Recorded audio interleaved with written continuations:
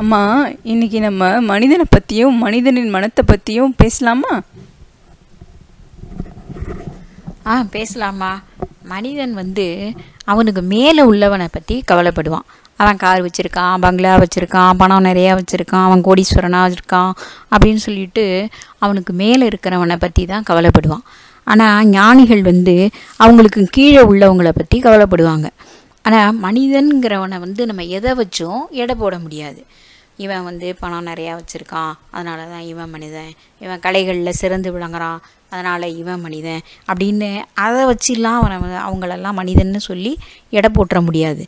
அப்படின்னா மனிதன்னா என் யாரு தான் அவன் மனிதன் அப்படின்னு நம்ம பார்த்தோம்னா உழைப்பு இருக்கணும். உழைப்பு இருக்கணுமா? மனிதன்னா உழைப்பு இருக்கணும். ஏழை எளிய மக்களுக்கு உதவி பண்ணணும். அந்த உதவி செய்கிறது வந்து கடவுளுக்கு செய்த மாதிரி அப்படின்னு ஒரு நியதி இருக்குது ஆடு மாடு கோழி நாய் குதிரை இதெல்லாம் வந்து காலால் நடக்குது. காலால் நடக்கிறதுல நம்ம கால்நடைன்னு சொல்கிறோம் ஏம்மா நாமளும் காலால் தான் நடக்கிறோம்? ஆ நல்லா கேட்டேன் காலால் தான் நம்மளும் நடக்கிறோம். ஆனால் அவங்கள விட வித்தியாசமும் நம்மக்கிட்ட ஒன்று இருக்குது என்னன்னா நம்ம காலாலும் நடக்கிறோம் மனதாலும் நடக்கிறோம். அதனால தான் நம்ம மனிதனாக இருக்கோம். நம்ம எங்கள் தாத்தா பாட்டி ரெண்டு பேரும் ஒரு சுவாரஸ்யமாக எங்கிட்ட ஒரு விஷயம் சொல்லியிருக்கிறாங்க. அதை பற்றி சொல்கிறேன் கேளேன். ஒரு நாள் தாத்தா வந்து அந்த காலத்தில் தாத்தா வந்து பக்க சட்டப்பையில் பணம் அப்போல்லாம் வந்து கொஞ்சமாக பணம் எடுத்துகிட்டு போனால் கூட நிறைய ஜாமான்கள் வாங்கிட்டு வரலாம். இவர் க கடைக்கு போயிருக்காரு ப- பணத்தை எடுத்துக்கிட்டு.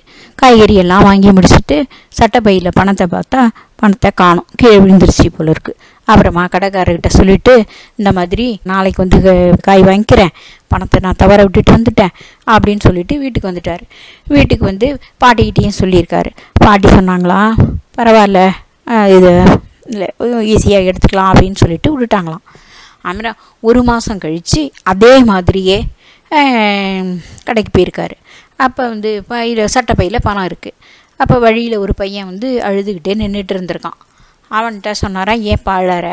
அப்படின்னு கேட்டதுக்கு அவன் என்ன சொன்னான் நான் வந்து நாளைக்கு ஸ்கூலுக்கு ஃபீஸ் கட்டணும்.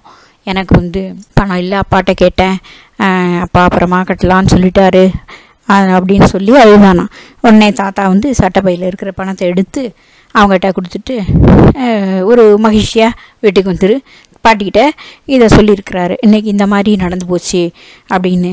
ஆமாம் அன்னைக்கு வந்து நீங்கள் பொருளை வந்து பொருள் வந்து நம்மளை விட்டு போச்சு கவலைப்பட்டோம். இன்னைக்கு பொருளை விட்டு நம்ம விலகி இருக்கோம் நம்ம சந்தோஷப்படுறோம். அதனால் மனது வந்து இப்படி தான் மனசுங்கிறது இப்படி தான் இருக்கும். ஆமாம் உனக்கு மனதை பற்றி ஒன்று சொல்லுவோமே உனக்கு அது உனக்கு தெரியுமா? மனித மனம் ஒரு குரங்குன்னு தானே நல்லா சொன்ன இப்போ மனித மனம் வந்து ஒரு குரங்கு தான். அப்படியே அலைஞ்சிக்கிட்டு இருக்கோம். ஒரு இடத்துல இருக்காது மனசு. அடக்கவும் முடியாது அதை. நம்ம வந்து அடக்கவும் கூடாது. அதுதான் மனிதனுடைய மனசுங்கிறது. அப்படி தான் ஆனால் அதை வந்து அறிய நினைத்தோன்னு வச்சுக்கேன் அது அடங்கும். மனதை மனதை வந்து நம்ம அறிய நினைக்கணும். அப்போ தான் அது வந்து அடங்கும். அடக்கணும்னா அது அடங்கவே அடங்காது. அதனால தான் அதை வந்து மனிதன் வந்து மனித மனம் வந்து ஒரு குரங்குன்னு சொன்னாங்க. அப்புறம் கோபம். கோபம் வந்து மனிதனோட இயல்பு அது. அதை கூட நம்ம சில யுக்திகளை கையாண்டு அதை சரி பண்ணிடலாம். நான் வந்து ஒரு கடைக்கு போயிருந்தேன். அந்த தொழிலாளியை வந்து அந்த முதலாளி இந்த மூட்டையை தூக்கி அங்கே போடு இந்த மூட்டையை தூக்கி இங்கே போடு அப்படின்னு சொல்லி மாற்றி மாற்றி சொல்லிகிட்டே இருக்காரு. கோபமாக பேசிக்கிட்டே இருக்காரு.